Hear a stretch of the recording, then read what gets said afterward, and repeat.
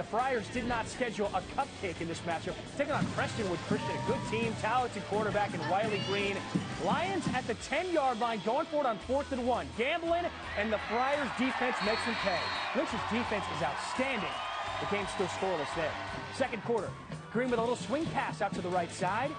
The ball comes loose. I'm telling you, this Friars defense is good. They're to pounce on it. That leads to a field goal. 3 0 lead for Bishop Lynch. PCA tries to match it with a field goal. The Friars come up with a block. Another defensive stand for Bishop Lynch. Neither team was doing anything on offense until Jarek Broussard gets loose on a 49-yard touchdown. One of two scores on the night for the Colorado commit as Bishop Lynch is still undefeated. The Friars win 17-13 the final.